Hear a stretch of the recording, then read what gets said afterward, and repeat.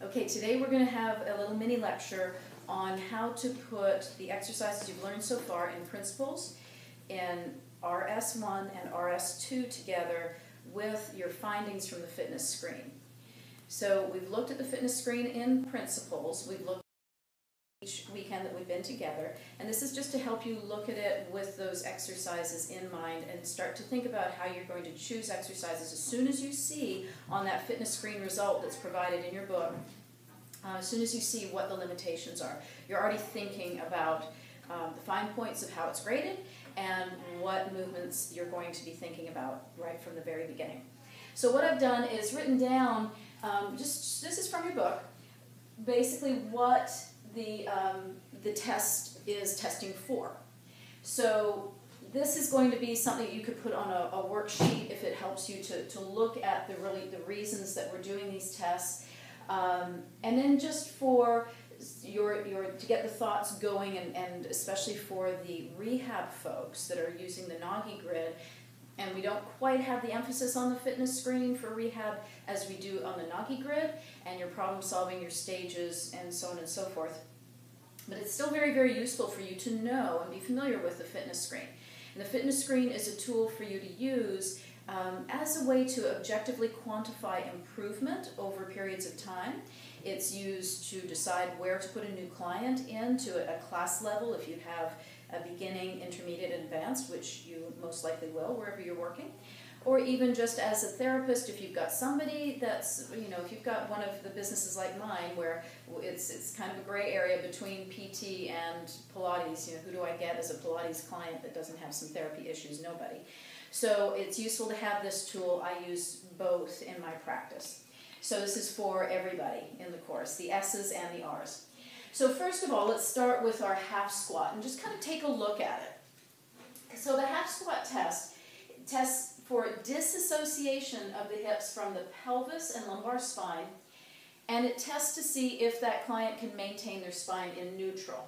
So I just highlighted disassociation and put in brackets here stabilization for spine in neutral. Now again, those are concepts that are more geared towards the rehab people than the um, studio folks. So I'm trying to frame this in a way that, that our rehab folks are going to be kind of looking at this, as well as the studio. It's helpful for you guys to know this too, because we talk about it in our discussions. So we've got some disassociation and stabilization that we're already looking at in the test that should give you a big step forward into what you're thinking about as far as exercises that you're going to want to put into this program for somebody who is showing a lack of ability to disassociate or a lack of ability to stabilize the spine. Okay, so that's kind of how we're going to go through it. The full squat, lower extremity strength or leg strength, and control in full knee flexion. Again, that's going to require disassociation and stabilization, but we're also looking at strength and control. We're throwing some other things in here. We're going to get to applying the principles as soon as we get going through all of this list, so don't worry, we're getting there. Um, the heel raise, basically calf muscle strength and balance. So a part of the balance piece is going to be some stability. There's going to be some stabilization involved. So I've, I've, highlighted stabilization in there. Something that you can be thinking about. They're going to need to have that ability to stabilize the relationship of the rib cage to the pelvis in order to raise up onto those balls of the feet unassisted without having to hold on to something. Um, goalpost on the wall, postural alignment, is being tested here. What are the things that we often see? We often see that thoracic spine extension coming away from the wall. If they can't get the arms back there, they're going to compensate with thoracic spine extension. Shoulder abduction and external rotation. And again, the spine control, exactly what I was just talking about with the extension. So there's got to be some disassociation of the upper extremity from the trunk. Right? We don't maybe we haven't talked about that a whole lot yet because we haven't had a whole lot of upper extremity repertoire at this point. But there is going to be that, that thinking about the ability to, to disassociate that arm movement so that when the arm is raised, it doesn't just go right into a thoracic extension to reach. Right? We want to be able to achieve that full range of motion before we add the extension. Um, so there's our, dis- our, our disassociation at the shoulder joint and the stabilization of the trunk, uh, specifically of the thoracic spine as we look at this particular test. The long sit test, primarily hamstring flexibility and then that spine stability on top of that hamstring flexibility. So then again, there's that disassociation at the hip along with that ability to maintain the rib to pelvis connection as they're seated. Seated hip abduction next. Length of hip adductors, so the inner thighs. Capular, capsular restriction. So that's the capsular restriction that could potentially be there around each hip. Right? In the merm or in the seated hip abduction, we're going to see it again in the Z-sit mermaid. I'm just getting ahead of myself. Um, in, in this position, we could see uh, some capsular restriction causing maybe a, a position of the pelvis that's in too much of an anterior tilt, too much of a posterior tilt, that can be a reflection of capsular restriction, or just simply the inability to get the legs apart. Core stability is that ability to keep the pelvis in a fairly vertical relationship to the ground. So again, there's got to be some disassociation at the hip and some stability of the relationship of rib cage to pelvis. Z sitting is your mermaid position, is also sometimes called figure four. It's getting into the internal and external rotation flexibility. You're also going to be looking potentially at some capsular issues there. And range of motion into hip, internal and external rotation. Um, you're also going to be kind of looking for some of that core stability too. This is one of those positions where you're going to tend to see a lot of extension in the spine. So again, you've got your disassociation stabilization that's being tested here. So for the roll-up, spine flexor strength and articulation into flexion. So we're looking into our segmental articulation now, but we're looking at that spine flexor strength. So it doesn't really say we're looking at abdominal strength. We kind of are. Um, the, the, the abdominals being spine flexors. So you're thinking that as you're looking uh, at the quality of the movement.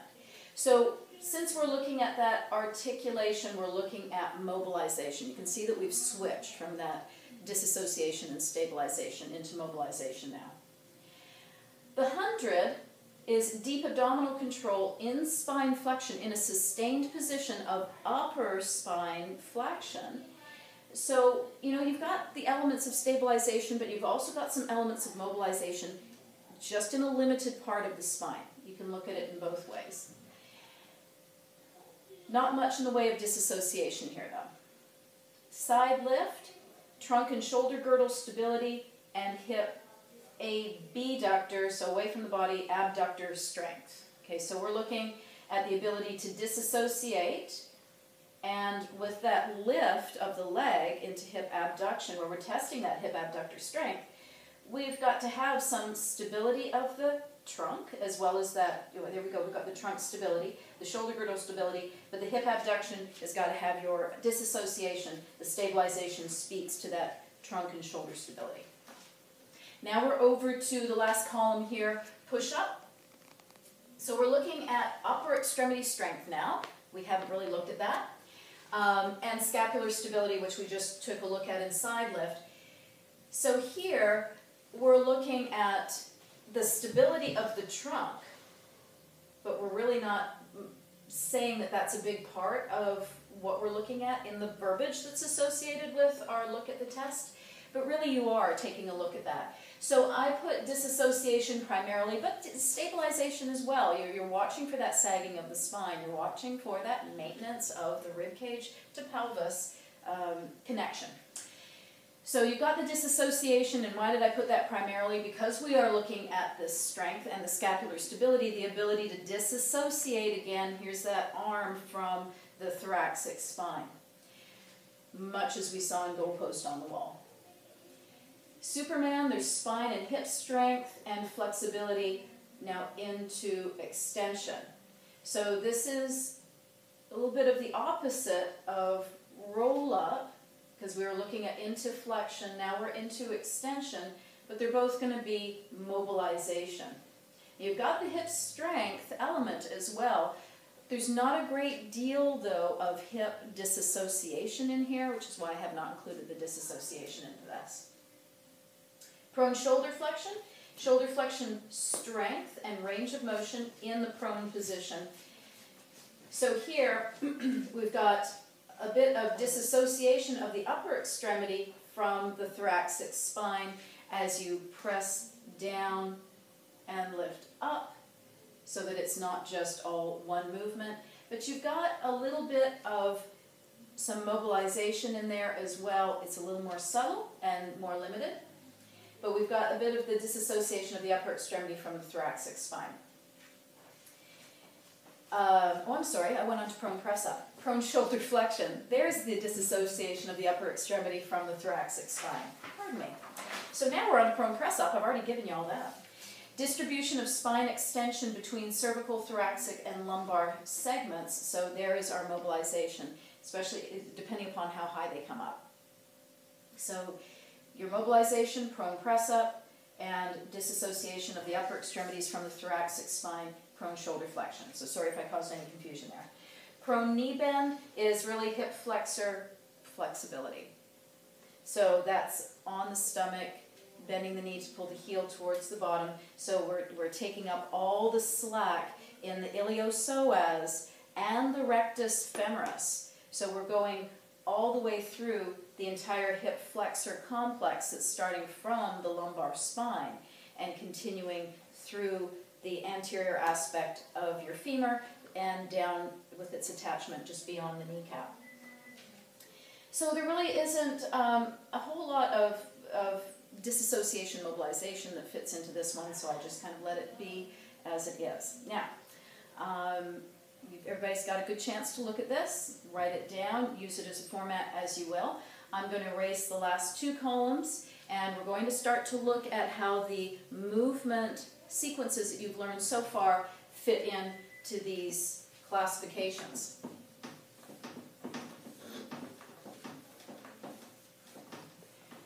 So we're going to start with the half squat, and we've already determined that we've got some disassociation and some stabilization. And Tana, can I ask you to just erase that middle column so I can get go in here? Thank you so much, my lovely assistant Tana.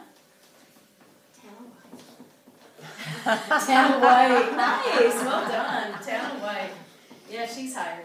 Okay, so we're going to look at, first of all, um, applying the principles, our six principles, to, to these tests. So for the half squat, and, and I'm going to preface this by saying pretty much in all of these, you're going to have core control and axial elongation, some more than others. But in every single one of these, you're going to have breathing, so let's, let's make the assumption.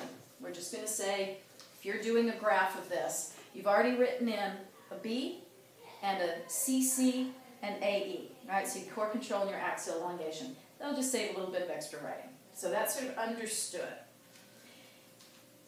So here, we're looking at, in the half squat, our alignment and weight bearing of the lower extremities. Okay, so that's a really important thing about your half squat. That's one of the things you're looking at because you're looking to see if those knees collapse in, if they roll out, uh, what is that stability of the legs and keeping the spine in neutral. So the spine in neutral, we're taking care of that with our axial elongation and core control. Okay, so we're not forgetting about it we're understanding that that's in there. So if you guys are all okay with that format, does that sound format? Does that sound good to you guys? Mm-hmm. Okay, great. So we're going to stay with that. So full squat again, you've got the understood core control, axial elongation, but we're going to say, well, you know, yeah, we're still squatting. So alignment and weight bearing of the lower extremities. Okay. Heel raise. Okay, so we've got our core control, axial elongation our breathing. We know it's not organization of head, neck, and shoulders. We know it's not spine articulation. Right? So we know we're not at movement integration, really. Um, it's a pretty straightforward task. So again, we are left with alignment and weight bearing of the lower extremities. Okay? To get you thinking about in our discussion times, after we do our exercises, after we do our labs, in our discussion times is when we're kind of talking about this sort of thing, or you've already got it. You guys are lucky enough to already have it in your manuals, mm-hmm. but you're going to be ready for the next weekend when you have to write all of this in yourself. So this is a good primer for you. Goalpost on the wall. Okay, so we're into something else now, right? And what do you guys think? So we're really talking about upper extremities, right? It's the neck, head, and shoulder. Right, organization of head, neck, and shoulder. I should have probably done that in another color. Now, long sit, and I think I will. My lovely Tana White. Here we go. I've got it. so I'll do that in a different color so it's just more recognizable for you guys to just look quickly. And I, I would just suggest that you do it this way um, in your workbooks as well. Quick recognition that we've gone on to something different. That here in this group, if you're seeing deficits, in these three tests in a row, you're already narrowing down your group of exercises, mm-hmm. right? And now, what do we have that addresses the upper extremity? We're starting to think about that with goalpost on the wall. We've changed, we've shifted gears a little bit. Long sit is really just your core control and axial elongation because we are not getting into organization of head, neck, and shoulders. You might be able to argue the case for alignment of the lower extremities, but it's not weight bearing. We're seated. Um, it's not movement integration. We've already got the breathing and the core control axial elongation. Again, we're looking in general at groups of exercises that we're going to be considering, groups that we're knocking out of consideration. That's just as important as narrowing down to the groups that are in consideration. All right, so that, that takes care of us so far. So, in the half squat, well, in all of these, we're going to have to come up with something for the chair, for the mat, for the reformer, for the trapeze table, and for the ladder barrel spine corrector because that's one of the filters for creating your program is one exercise on each piece of apparatus. Now, so far, you've got repertoire from principles, from SR1 and SR2. As you go through 3, 4, 5, and 6, you're going to be adding on exponentially. So in today's lecture, we're not going to worry if we don't have anything yet under each classification because we don't have all the repertoire yet. But by the end, you will have plenty of repertoire to fit all of those classifications. So this is the time now, while you don't have that much, to create your format, to look at this, and now you can be filling in each weekend. Get yourself to sit down, think about it, process what's going on in these movements. That's where the note taking is going to be so important in the upcoming discussion times. All right, so we've got our half squat. And this is going to be kind of like, you know, a little pop quiz for the participants here to see what you remember. But does anything pop into your head that would address alignment and weight bearing of the lower extremities that would have some disassociation of the hips and require some stabilization of the trunk that's on the chair? Double leg. Double leg pump. Excellent. Okay, so we're off and running, right?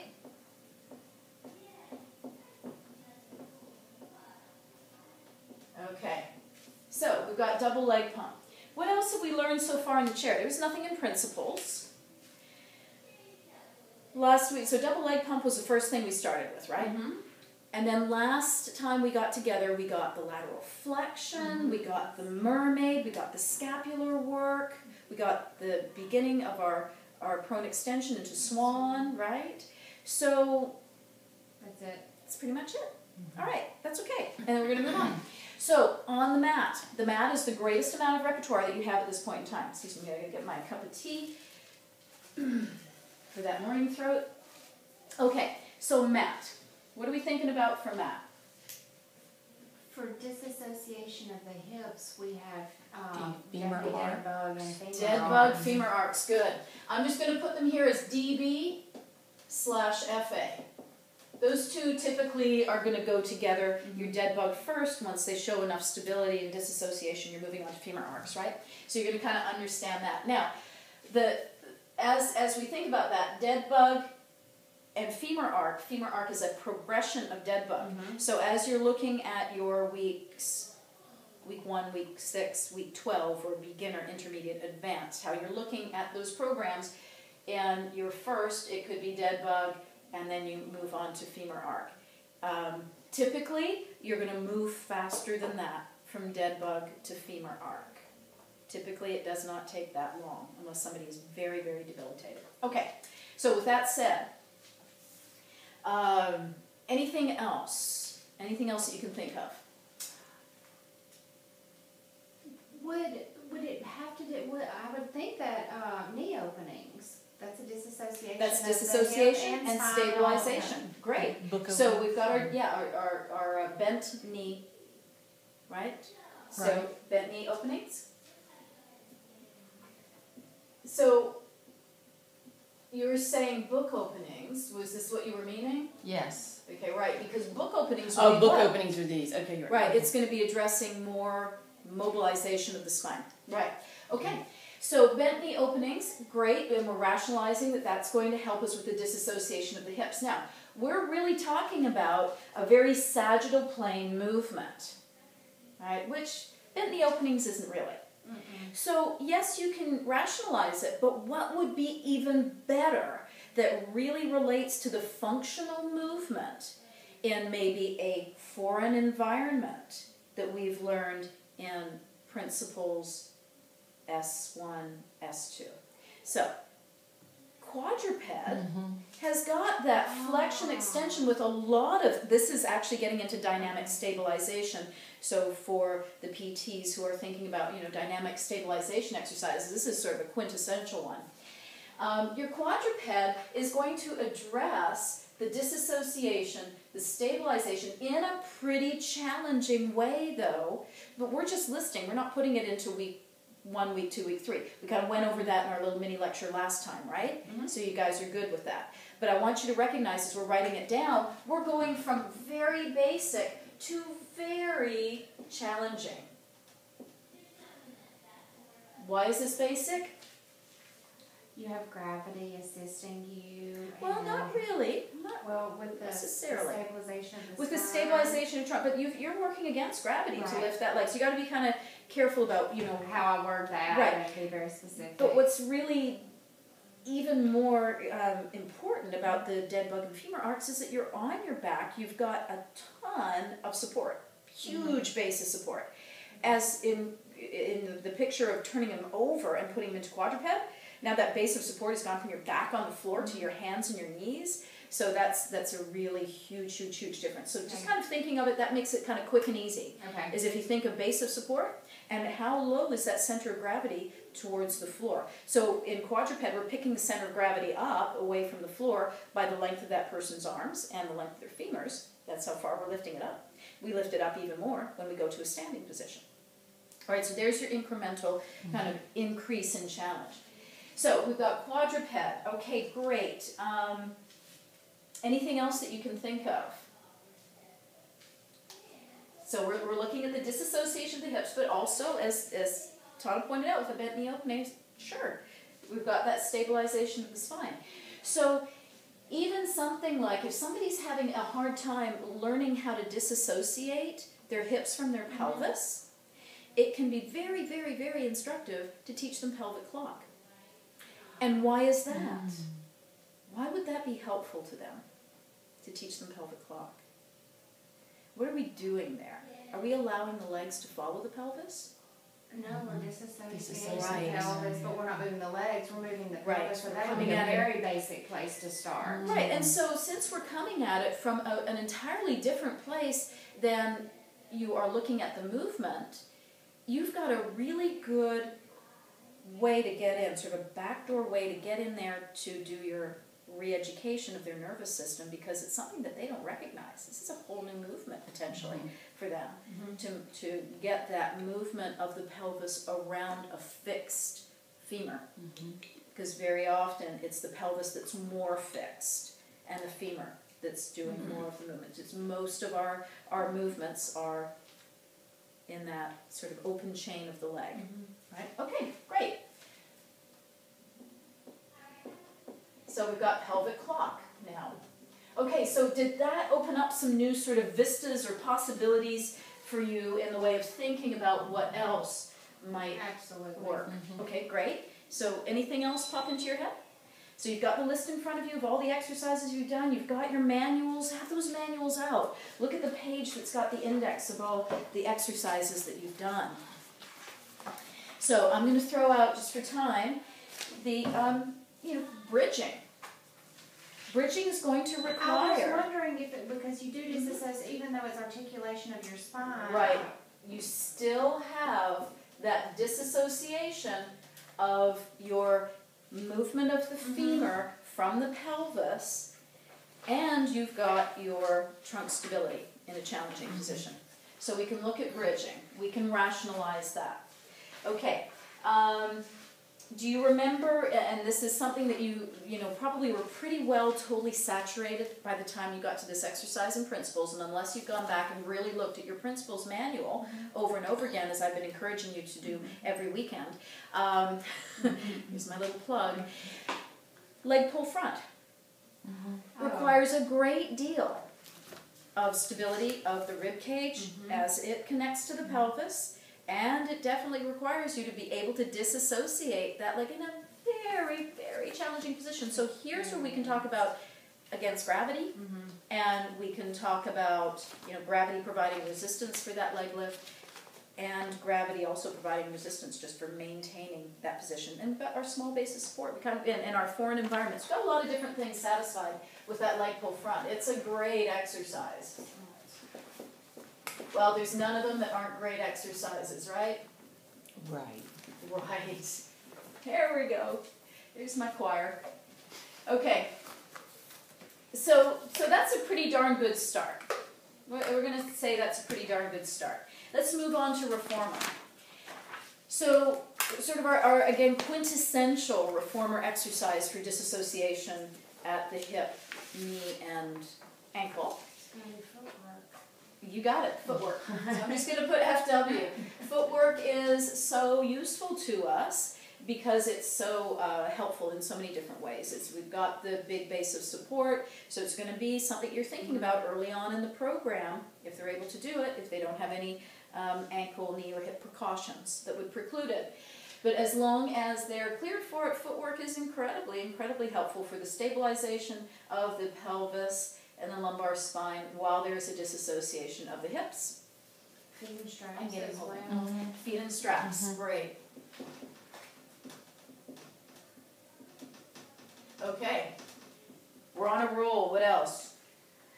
Um, Would the what about the supine arm and ab series? Because you are in that you're you're on your, your supine and your legs are in tabletop. Right, so the legs are in tabletop, this is a really good question, and this Uh-huh. is the kind of problem solving, excellent question, thank you, I couldn't have planted it better. So, the. I know you two talk. So the I know you two talk.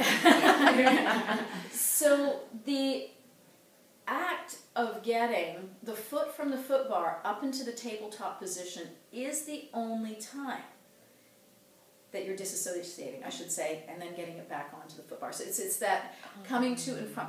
It's really not a part of the exercise. Once you're there, they're stable. They're not moving. Okay. There isn't any leg. Uh, now you could perhaps argue it in the supine abdominal series when we add coordination. Okay, maybe the coordination. I'll I'll um, I'll consider that. But again, you're going to have to have a pretty good rationale for it. And if you have to really rationalize too hard, it's just kind of like life. If you got to rationalize it too hard, it's probably not the right thing. But with that said, I would accept your rationalization on the abdominal series simply because of that coordination variation. But I would not accept the Mhm. supine abdominal series. So, but that's really good for the problem solving of the why. You Mm-hmm. know, if you're thinking that it's possible, you need to know the why not Mhm. as much as you need to know the why. Okay, great. So we're going to put a little um, a little asterisk here, supine abdominal series, and the little asterisk is just so we know amongst ourselves it's the coordination. okay, but we would have to, you know, in, in an exam situation, um, we'd probably want you to be fairly clear about that. Okay. I would think seated footwork work here, Seated footwork is excellent.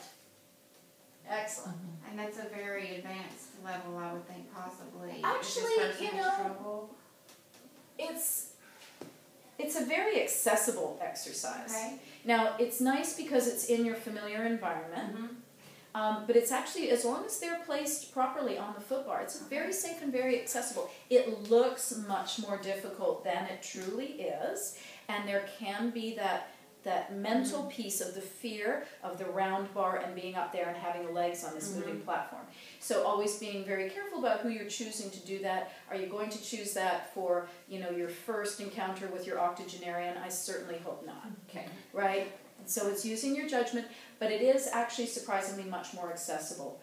Um, Because it might is think. accessible like this, if you have someone you know is strong enough, we're not talking a, a geriatric person here, mm-hmm. but getting them on that and having them do that because it seems like it, it is that a good way to give them a sense of self-efficacy? Absolutely, kind of- perfect point. Absolutely. Because so there's, the, we talk about creating that successful Success. movement mm-hmm. experience. So you want to choose your person so that it can be the successful mm-hmm. movement experience, but what a payoff it is for them and for you Mhm. because you're building then such a level of trust with them. But they have now taken that within themselves of I am capable. They're going from I'm incapable to I'm capable, and there is no price for that. It is absolutely priceless. Yeah. Great point. Great point. Okay.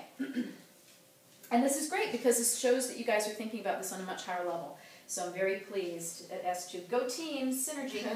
okay, so so we've got our footwork, our feet and straps, um, What about seated footwork, scooter? Yeah, scooter. scooter. And- Right. So that's Yeah. got to create the disassociation of hips from Mhm. pelvis. Great. And the standing hip stretch.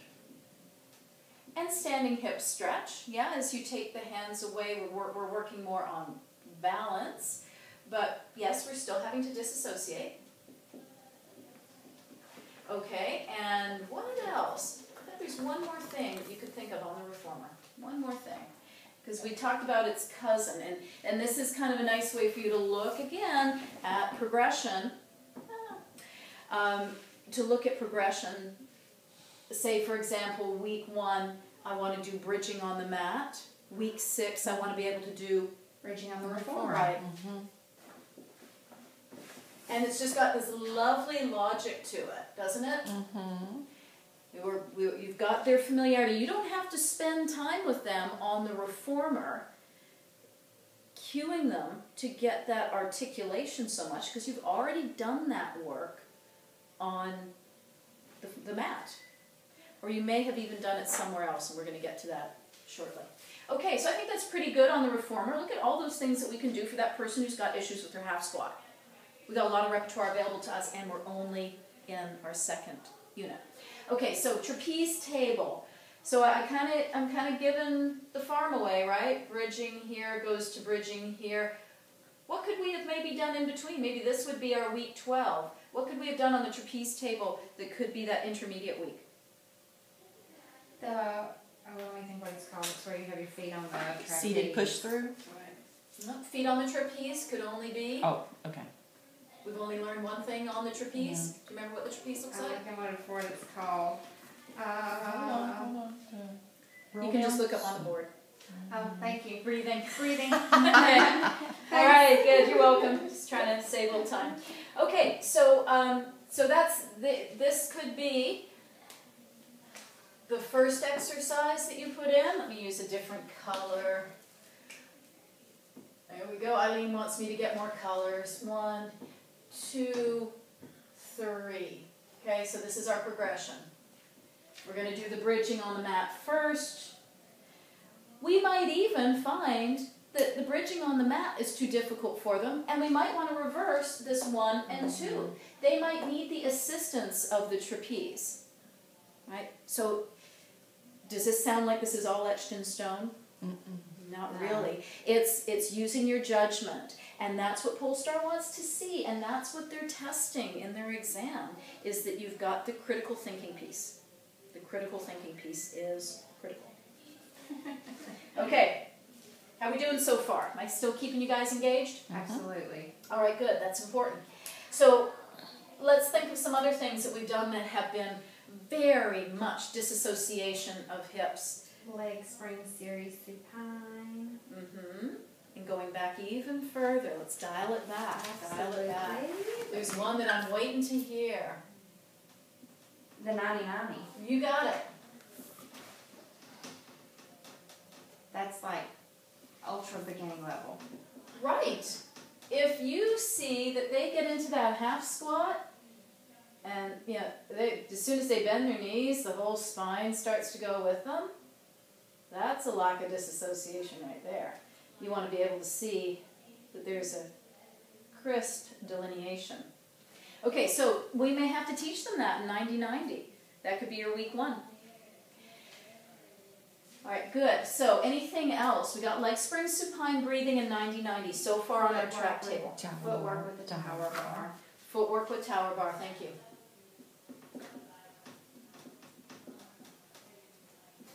Okay, footwork with tower bar. And anything else in our trap table, disassociation of the hips from the pelvis, lumbar spine, maintain the spine in neutral. We talked about how bent knee openings had a rationale because of this disassociation of the hips. It's just in more of a rotational disassociation, right?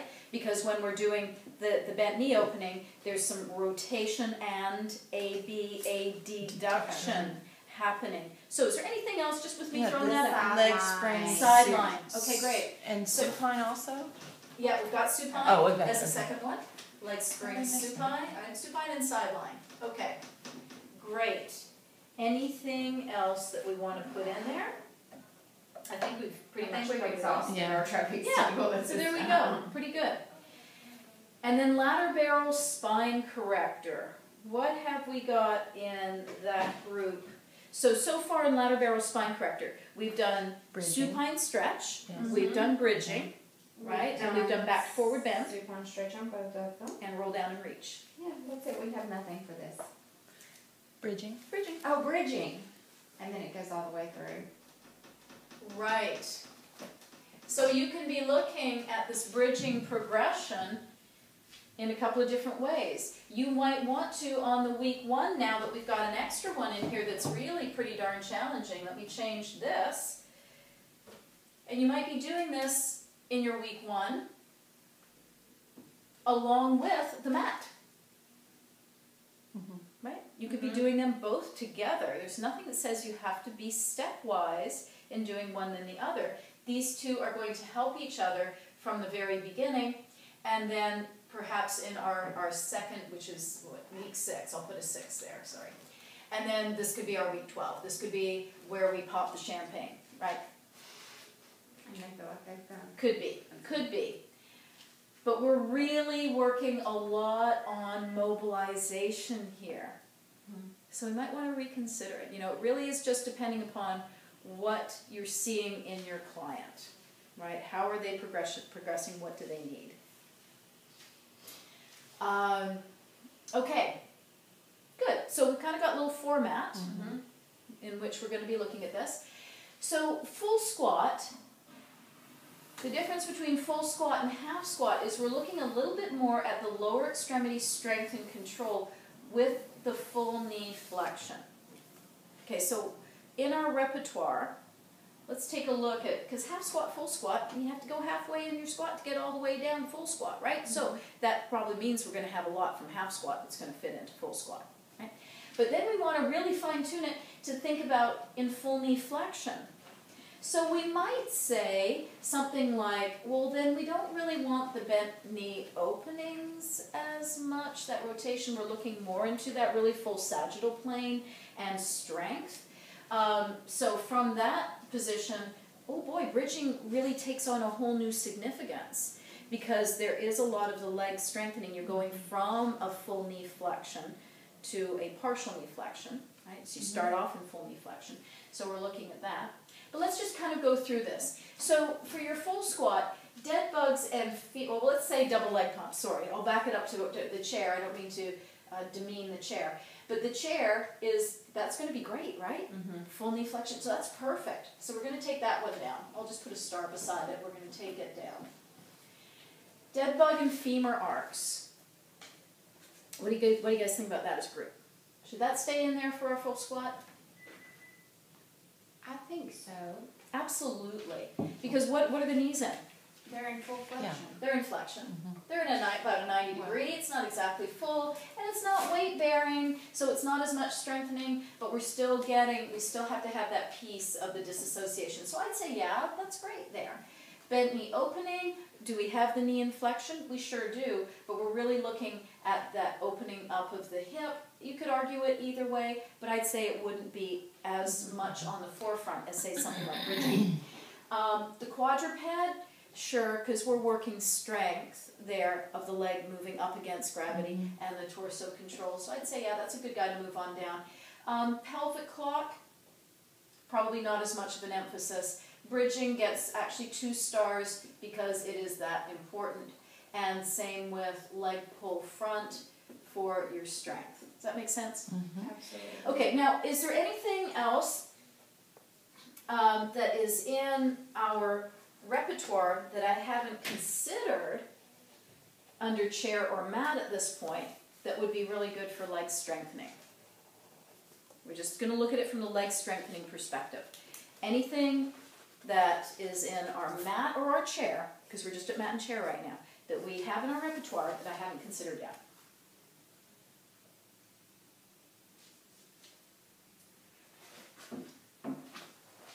So let's do a quick little rundown, shall we? Mm-hmm. Okay, so in our principles, we had our mat exercises were the hundred, the dead bug, femur arcs, quadruped, swan one, about sidekick? mermaid. Yeah, there you go. Oh. Arm arcs, prone extension, assisted roll up, standing roll down, and leg pull front. So very good. Side kick. And why would side kick? I'm so I'm going to put it down here. Side kick. That could be a little bit more of strengthening, right? So, what are we looking at in strengthening with side kick?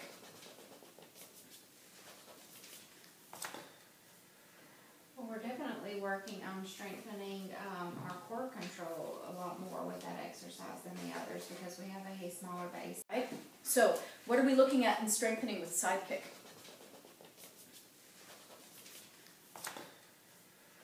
Well, we're definitely working on strengthening um, our core control a lot more with that exercise than the others because we have a smaller base of support. Good. So, smaller base of support, more challenging to the core control. Great. What else are we working in the leg movement itself? The hip flexors and the extensors.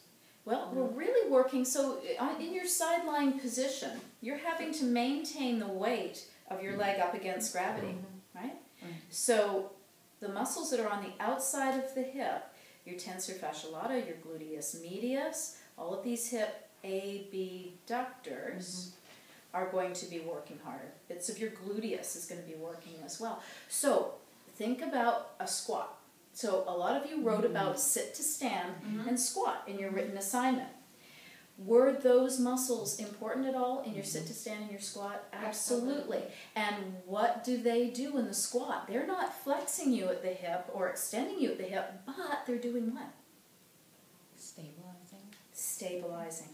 Great. Good job, Suzanne. So, could that not be important for the half squat as well? Absolutely. There we go. Good, good, good, good. Okay, so we got that rationale. So you know what that means?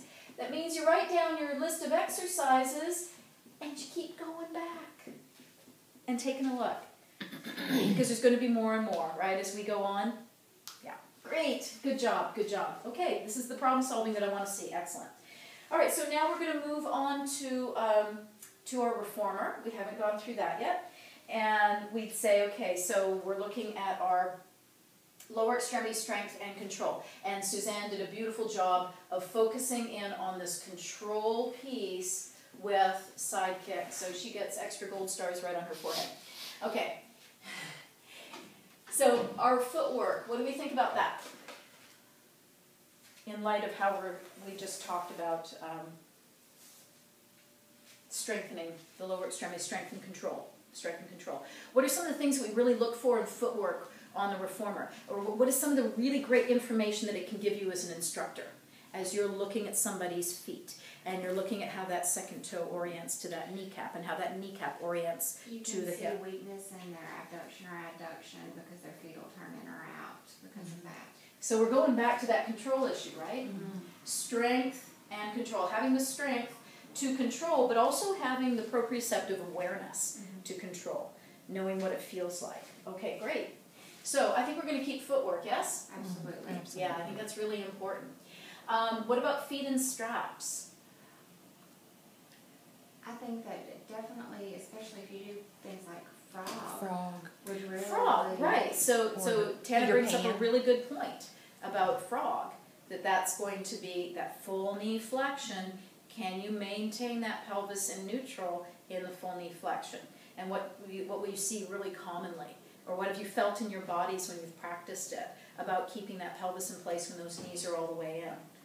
I've seen observing that people tuck under a lot. It makes them tuck under. Right. in, So that is a lack of ability to stabilize that neutral spine, and Control.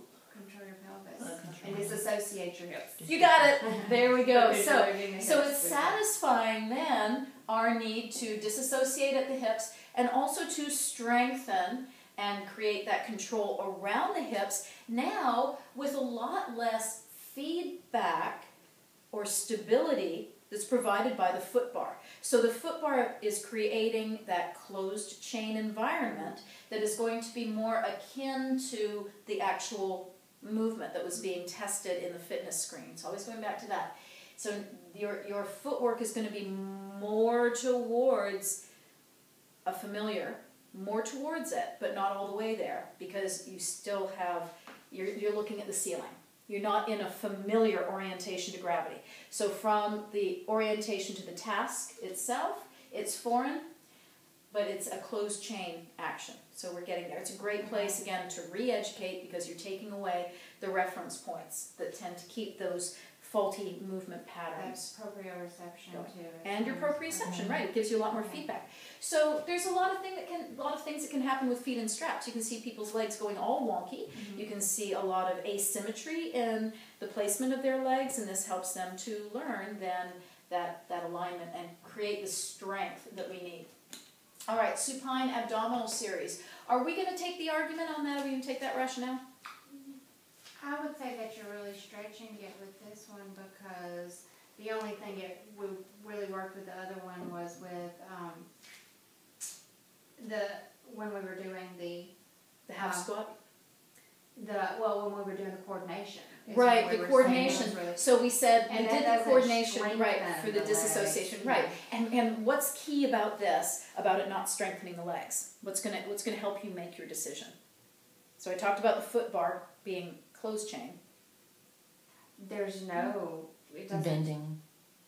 well it, there's there it, there's no chain it's an open chain. It's an open chain. Very good. Mm-hmm. It's an open chain, and that's the way I want you guys to be mm-hmm. thinking about this. You guys are gonna have to know closed chain, open chain, pseudo closed chain, right? Mhm. Okay, good. Just make sure we keep going back to these things. It's going to help you. You guys are already studying for your exam now, right? Mm-hmm. Okay.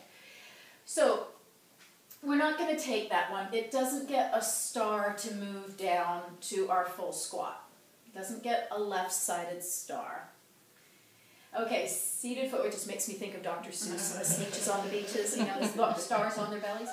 Okay, seated footwork. Sorry, I digress. Seated footwork. What are we thinking about that guy? Oh, I think that's a great one. Mm-hmm. Yeah, it's a really good one. And what are some of the benefits of that? Just for choosing it, just for for even to help you as you're working with a client. What's the benefit of that? You're getting closer to the actual movement itself because you're bringing them upright with mm-hmm. their spine and the stability there. So they're Yeah, you're welcome to put any of these pictures on Facebook. I guess I'm doing. Mm-hmm. That'd be good.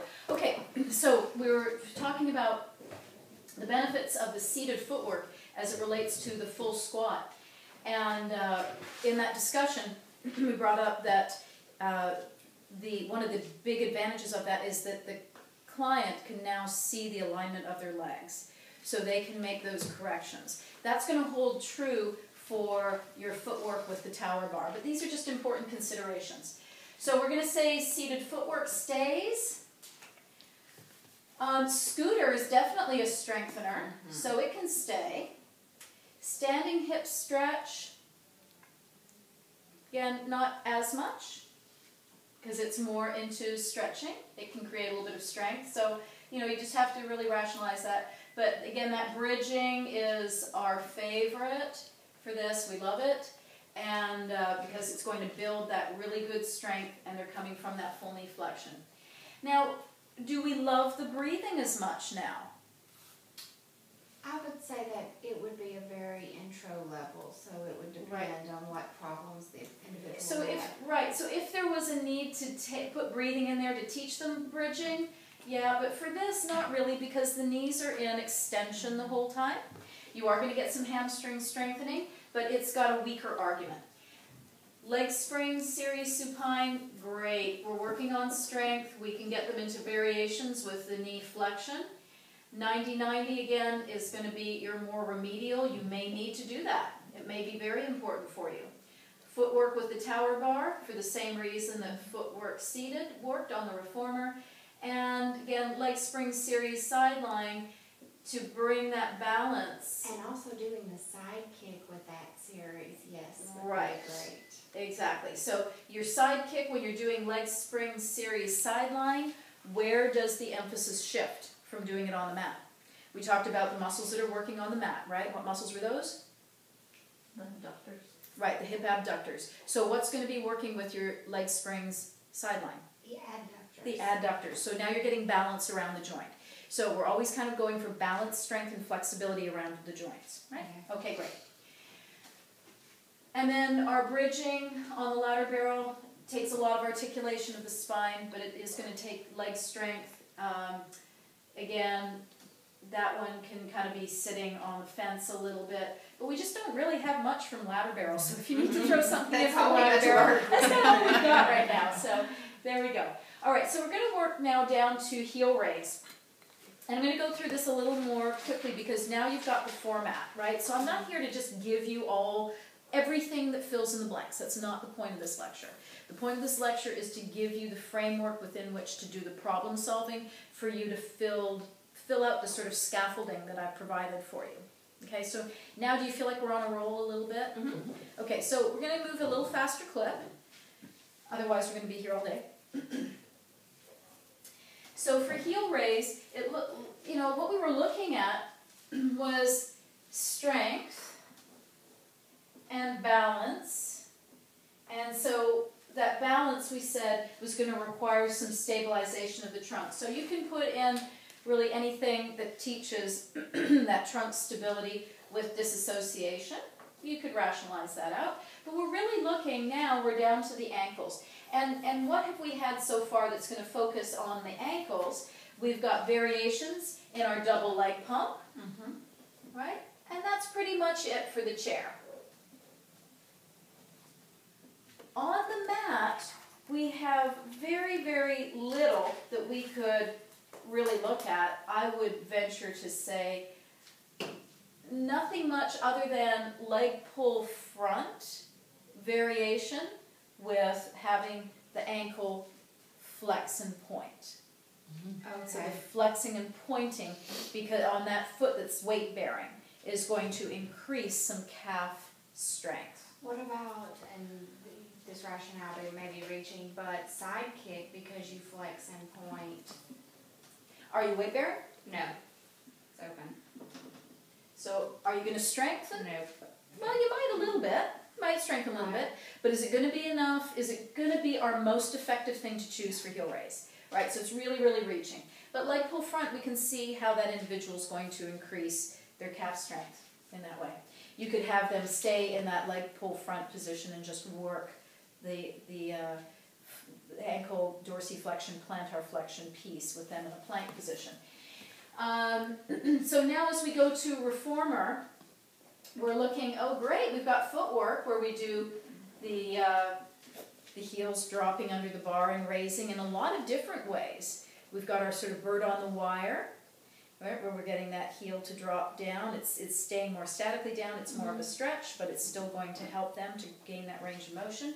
We've got in, you know, external rotation, parallel, internal rotation, that ability to lower and lift and that's going to bias, right, in the walking in place. So the internal, external rotation are going to bias different heads of the gastrocnemius.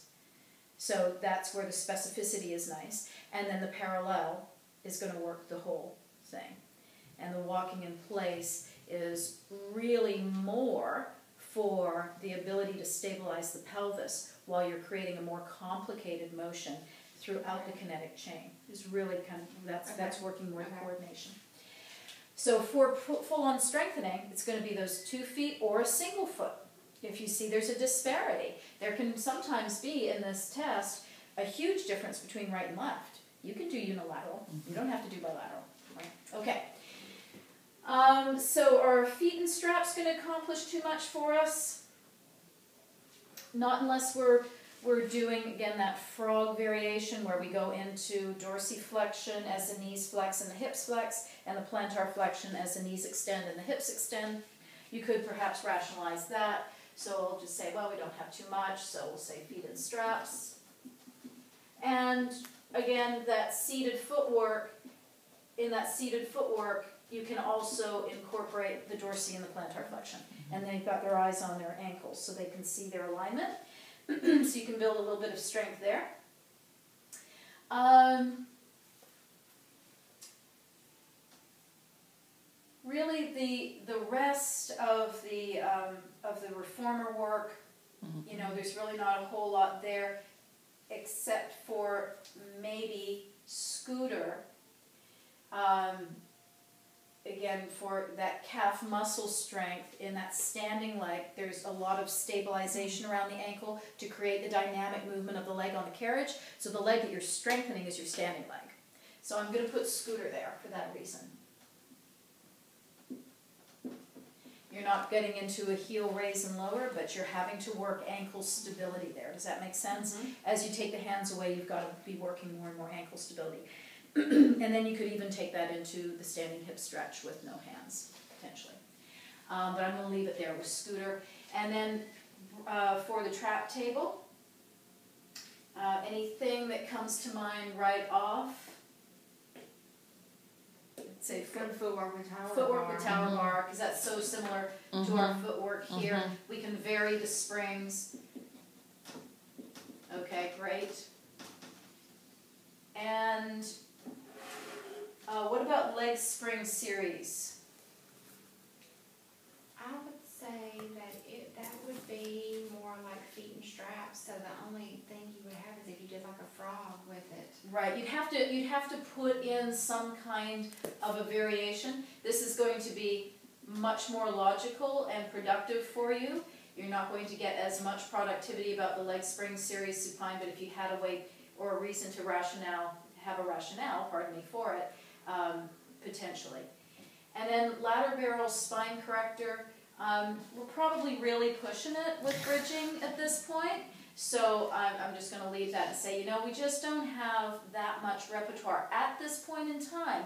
We're going to be filling in more repertoire as we go that's going to get to this, right? But for now, at this point in time, not a whole lot.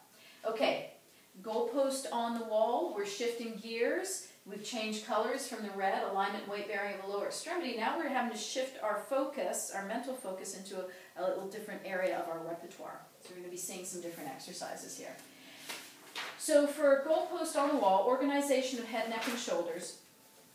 On the chair, we just got a nice bit of repertoire the past weekend that we were together, S and R two, um, that addressed a lot of the scapular alignment.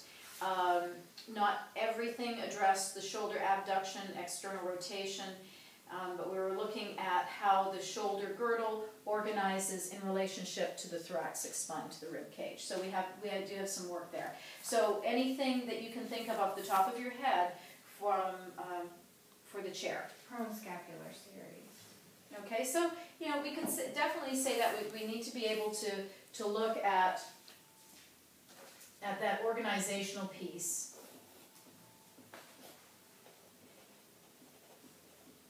And what other positions did we get into on the chair that challenged, that one of the very first things we needed to do was establish that scapular alignment that we maybe learned in our prone scapular series. The swan. The No. Swan to get Okay. into extension. Now here, I'm gonna give you something to think about though. If we're looking at goalpost on the wall, and as I prefaced it at the beginning part of the lecture, um, that what you're going to see is is that tendency to extend. So if somebody has more of a tendency to extend, mhm.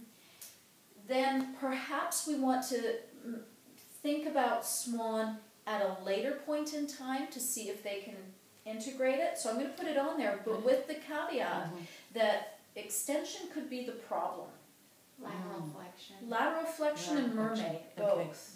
Lateral flexion and mermaid both required that we have an integration of the scapula in again here's a, a foreign environment right so this is your optimal opportunity to really get in there and change the movement patterns so i'm going to prioritize lateral flexion and mermaid and later on they can show you that they can limit control their extension in swan but we're not really swan So that would be more is progression. more mobilization of the Oh. spine, right? We're looking at more stabilization. So control, disassociation, stabilization. The control of the spine is going to be more stability. This is more mobility. Even though these are both mobility, they have a benefit of being able to relate the scapula to the spine again in that foreign environment. And with the arm in, it satisfies our shoulder abduction, right? So that's that's sort of your double benefit. You've got the shoulder abduction as you go over into your mermaid and also in your lateral flexion. Think about um, even the, the variations of that lateral flexion, where we've got the arm and leg movement, right? All that challenging. That's a ton of this spine control now with the shoulder held in abduction. And you could actually externally rotate that hand placement on the pedal if that's needed. It's going to be just a little bit, and it's going to help to seat that shoulder blade in anyway. As we, we've talked about, right, that the, the retraction of the scapula goes hand in hand with external rotation of the humerus. Okay, okay so great, some more great problem solving. So, uh, anything else that we've missed? A goalpost on the wall With chair. with chair. Anything that you think is going to make it? Going to make the cut? Stay on the island. Okay. What, what we got at this point. Mhm. All right, so let's move on to Matt, shall we? Arm arcs definitely, Great, and why? uh, because it's disassociation of the shoulders at its purest. I love it. Mhm. Disassociation of the shoulders at its purest, at its finest. Lovely. Okay, so we've got arm arcs, and that's a good place to start. Um, anything else that pops into your head? Scarecrow. Hmm? Scarecrow. Oh yeah, Oh, that's very yeah. good. Scarecrow is excellent. And what is so excellent about Scarecrow? It's got that beautiful Mhm. piece of external rotation, Mhm. right? It's the, you're actually So in we the got position. that's it. That's your first thing. You're in the position, and you've got your external rotation. So you've got to be able to get that goalpost. Now, is that going to be the first thing that you're going to put this person in if they're restricted? No, it's going to be your final, your goal. But yes, again, that's where we pop the champagne. Okay, good. So, what else? That was excellent, Karen. So we've got scarecrow, anything Prone else? press up, Prone press up. dart. Yeah. Now, what about dart is not as good as scarecrow and prone press The extension, and this Mhm. person may have problems with extension. Right, and, and what else does it not satisfy for us? The spine, well, no, they all have. What position are your arms in? Behind Oh, you, yeah. Dart. dart, or behind, or next to you. Right. So we don't have our abduction and external rotation satisfied. You could argue that palms up is external rotation, you'd be absolutely right. However, we're looking at an external rotation with the arm in elevation. So it's not, not exactly analogous. Um, but, you know, if you, again, you'd have to really rationalize that. okay, so good, good, we're thinking. But then why am I saying okay with prone press up? If I'm saying dart, I'm not so sure. Why am I saying okay with prone press up? Stability plus its weight bearing. Yeah, it's the weight bearing Mhm. piece, and that can provide so much proprioceptive input. And that touch. Right, that's, yeah, it's the weight bearing all the mm-hmm. way mm-hmm. through the extremities. Mm-hmm. So, and then we talked about, and I'm gonna go back to principles again, I'm gonna keep doing this to you guys. Do you remember feedback and feed forward? Mhm. Right, so, what about the weight bearing then is going to help them with utilizing that feedback, feed forward mechanism? They're going to have some, it's that, um, proprioception again, like There you go, good. It's the where they are in proprioception. That's it, it's proprioception, period. You get much less proprioception from an open chain. That's one of the benefits of closed chain exercise. Increased proprioceptive input into the joint. Right? So there you go. Makes sense? Because they, they may not be aware of where the scapula is, Mhm. right, as they're going into this goalpost, and that might be why they cannot access their external Could you right. argue quadruped would be good for this? You could argue quadruped just because of that input, and you are going, you can take your arm. In quadruped, we teach you the mm-hmm. flexion movement, Right. right? But there is really no reason why you couldn't make it much more challenging with some abduction. Okay, Because as you go away from center, you're having to create a whole lot more control in your in your um, relationship of your rib cage to your pelvis. Your obliques are working a lot harder. So you then you're satisfying the spine control, but you're also getting the proprioceptive input. So we're going to say quadruped, but you're going to have to come up with a quadruped variation, right, to really make it align beautifully. But it's not a bad place to start. It's not a bad place to start to make them aware of the scapula. All right, so anything else that you want to throw in there for Matt that you don't have to rationalize too hard? I think that's it. Do you think that this person would benefit at all from book openings? Keeping those short, okay, wait a second. What position is the arm in? It's externally rotated. Mm-hmm. Well, am I externally rotated or am I in neutral? I'm in neutral. neutral. My thumb up, I'm in neutral.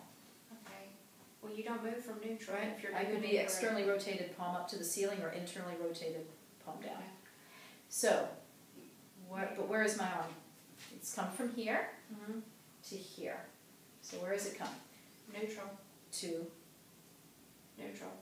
Abducted. to abducted. Oh. This is abduction away from the body. And it is an And we're looking at shoulder abduction, Okay. Right? And some organization of the scapula on the trunk is we're the trunk. It's mobilization, but we've still got that scapular positioning on the trunk. We've got the arm in abduction, and now we've got that arm in abduction as it starts to encounter gravity more and more and more through the rotation of the rib cage. Right, so I'm going to say book openings.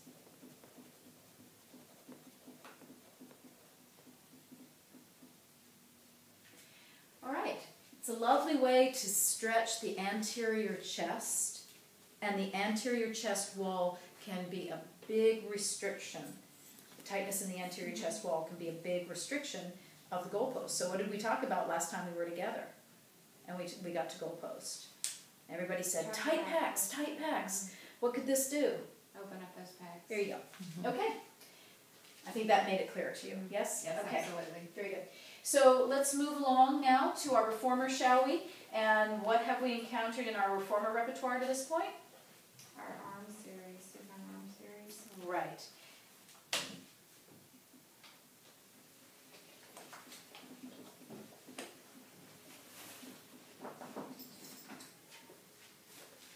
You can walk through, Tahira. No worries. Okay, so supine arm series, great. Anything else? Wasn't very well written, was that? My, my writing's getting worse and worse. Supine arm series. Okay, so anything else that you could think of? Maybe it's, um, You might bit of a could variation. say the supine abdominal series, but it's just, well, no, because I think, I retract. she retracts, okay, she retracts her suggestion. That's, that's fine, you can After I retract at actually any do the movement, I retract. Alright, so. Anything else? Nothing else? We've What got about- pretty much abdominal series, the hundred. If we're saying mermaid for Yeah. the, with mermaid on the reformer work here as well? Absolutely. Yeah. And what's great about the mermaid on the reformer? Yes, it's closed chain and you get that proprioceptive input into the joint. Everybody was right on that one. So we got our feed forward feedback. We're on a roll, aren't we? We're gonna just roll right through this. Cleopatra. Cleopatra. So Cleopatra kind of falls into that too. Mhm. And what what else is Cleo gonna do? It's gonna Open up that chest as well. Do we get into abduction in Cleo? You better believe Yes. it. Oh my gosh, we get into it beautifully. Yeah, great, great catch there, Suzanne. Love it. Okay, and then um, anything else? Anything else? I think that's pretty good on reformer. Okay, so let's move along to TT, trap table, not the Audi TT. And uh, what could we have in there? We got some nice things there. Supine scapular series. The supine scap series. Okay. And Um,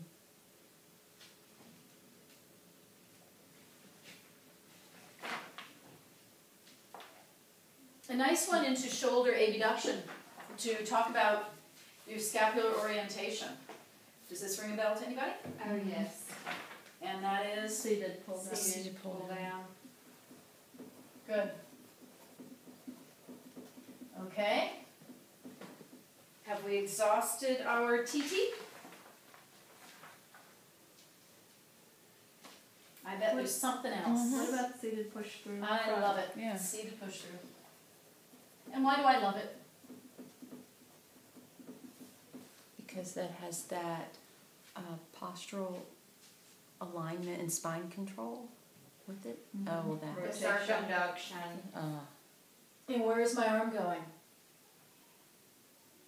into uh, external rotation and abduction. Okay, It's going all the way around. mm. So circumduction grabs all the planes of motion. Okay, great.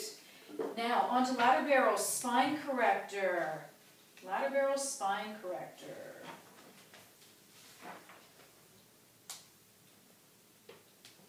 Ladder barrel spine correctors. We talked about a lot of what our repertoire so far was mobilization of the spine, but there's some, there's a couple things in there that could help you. Could we say that the? Go ahead, Karen. um, I'm sorry. Karen had one. Back to forward Yes. bend, Back to forward bend and why? because you're opening up the arms into extension. Right. So again, think about that chest wall tightness. Right? So we're is that that's a beautiful stretch for everything in the anterior aspect of the body. And the posterior aspect of the body. Right? So great.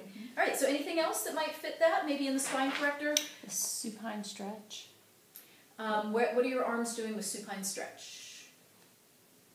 Are we looking at arms? Are we looking at spine? Are we looking at they? spine mobility? Supine stretch? No. Which one are we thinking of? The roll down and reach. Roll down and Roll reach. down and reach. Okay.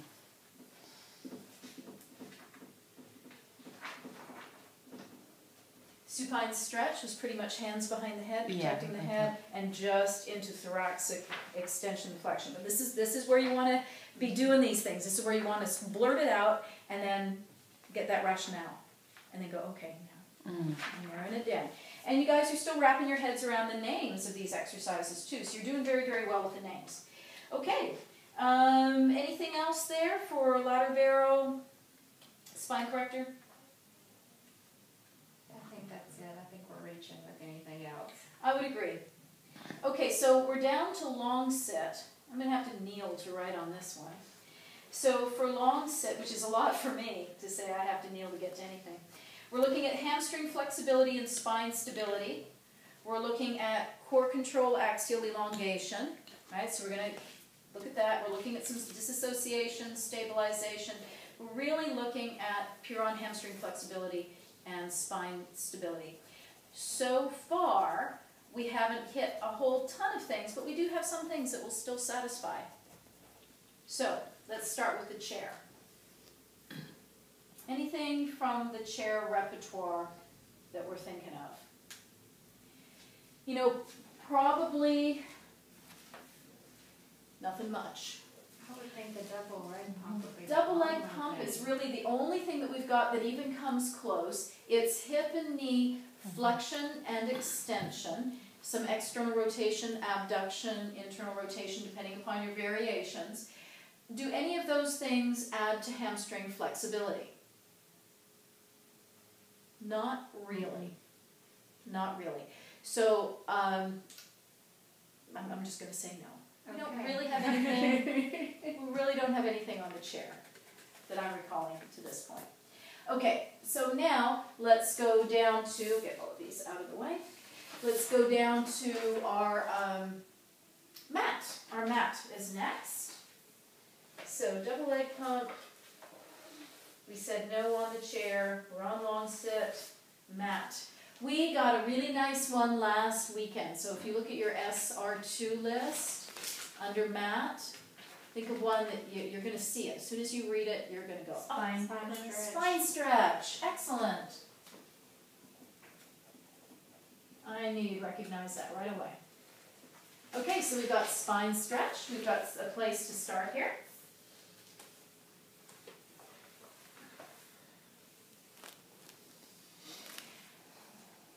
Anything else?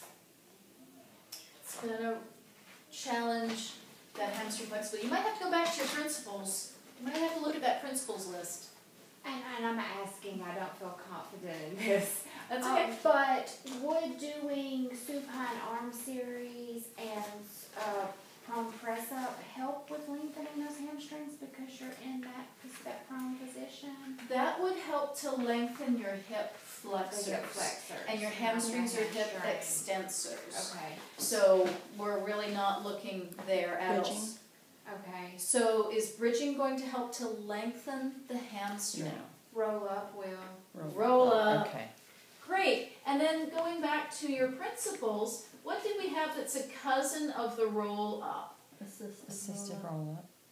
Okay, what about another cousin that would do something for your hamstrings? Another cousin. It's got a big family. It's got lots of relatives. The. Well.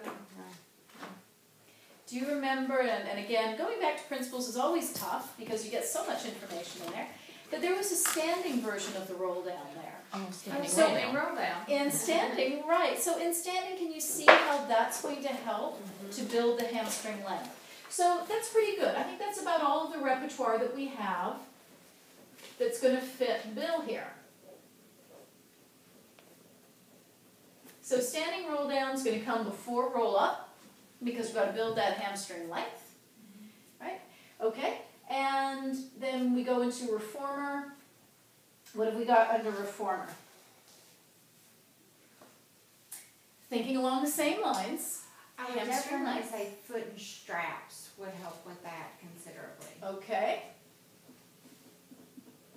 And I would agree. Feet and straps, and what else? Um, but work with uh, heels under the bar. Footwork, you got it. Excellent. So that's already got you thinking ahead to trapeze table, doesn't it? Mhm. See how this Footwork on stuff the goes? tower bar. You start to think that way. And as you're creating this yourself, you don't have to stop and do all of your reformer. You could say, oh, footwork, okay, footwork with the tower bar, great. Okay, so you can do this however you want to do this. I'm just trying to give you a framework. You're going to make this your own. All right, so we've got our, our feet and straps and our footwork. Seated footwork. I think seated footwork. Oh boy, seated footwork. it didn't come out too well. It just looks like a scribble. Okay, and um, anything else that anybody wants to suggest? Long sit. We're lengthening out those hamstrings. So we're stretching. We're stretching. Scooter.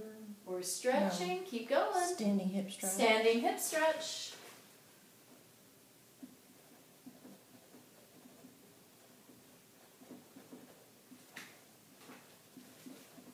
Excellent. Okay. I think that's pretty good. How about trapeze table? Seated push through.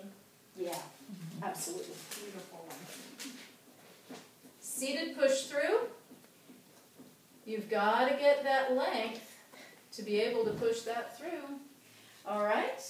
Um, as we go back and look at the mat, is there anything else that you might be thinking of? What about would the roll, the roll down series? Right, roll down series. And that So would it's be gonna go on with the roll up. reformer as well. We have the roll down series. On the reformer as well, absolutely. So that's where it's kind of nice to go, uh, to not just be thinking in just these little cells of mat reformer trap table and know that you can go back and go, oh yeah, roll up series or roll down. Pardon me, that's roll down And series. that goes on the ladder barrel to roll down and reach. Yes, Okay. absolutely. Okay, so we've got roll down series here on trap table, roll down series here on reformer, and roll down and reach is what Suzanne said. Yes. Mm-hmm. If she's right, Suzanne said Yeah. She's wrong, She did not say that. If it's the right answer, that was Suzanne's answer. Okay, got it, got it. Should've told me that at the beginning. Okay. Anything else? What about on the trapeze table breathing? So for lengthening the hamstrings, right. So what about it? Now did- I, I see some quizzical looks, and this is good. This is the problem solving. Yes, Tana got the whole nonverbal of what?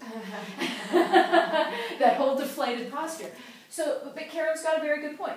On the descent, Mm-hmm. when there is the control, right, you're getting into that elongation of the hamstrings. And you're adding weight bearing to it also, so they have.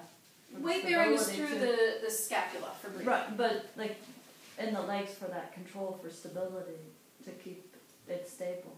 Right, that's Right. good for the um, the spine stability. Right. Right, because you're you are and, and what what in our um, in our Polestar speak, what are we doing to create that through the breathing exercise? How are we creating that spine stability? In Polestar speak. In exam speak. Um, And it's really truly what's happening. Not just an indoctrination, it's really truly what's happening. So we talk about one of the most important things, going back to again principles, is this the mobility, that piece of segmental articulation. Something has to turn off and something has to turn on. Your, you're talking about your spine extensors. Alright, so what feedback. Feed forward feedback. not quite feed forward feedback. We're getting into something else now. We're talking about with spinal articulation, what has to release. One thing that's in common about all of the spinal articulation mm-hmm. repertoire that under the spinal articulation principle we talked about at length. Elongation. That would be under the axial elongation core control principle, but that is a big part of this. You do mm-hmm. have to have the elongation to get the articulation. You're absolutely right. They're related, but we talked about global and local stabilizers. So Karen's rationale is absolutely right on for breathing mm-hmm. being a movement that is going to improve the spine stability through the mechanism of turning on the local stabilizers and turning off For the global stabilizers. Because So you're trying to make those excellent. individual spinal extensors, you don't want those large mus- muscles controlling the movement as you Right, so the smaller locals Okay. only go a couple of segments, maybe one segment. Most of them go two to three segments. Mm-hmm. That's considered local. The globals cover big areas of the spine.